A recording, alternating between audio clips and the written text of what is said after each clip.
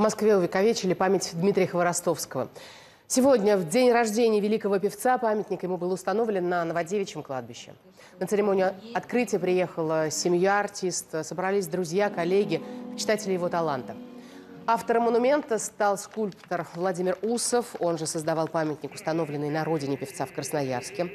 Самое деятельное участие в выборе проекта принимали родители Дмитрия Хворостовского. У Димы очень много друзей. И, естественно, э, многие друзья пытались там предложить что-то, но э, родители приняли решение сами поставить этот памятник Диме. Ездили в мастерские, э, следили за тем, как отливался этот памятник. Памятник, на мой взгляд, и на взгляд нашей семьи, а мы тоже получился прекрасный, как будто пойман посередине какого-то движения, как будто он на сцене, и движение после этого мгновения продолжится. 21 октября в 21.00.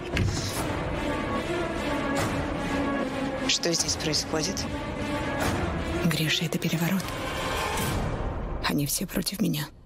Екатерина. Самозванцы. Большая премьера на канале «Россия».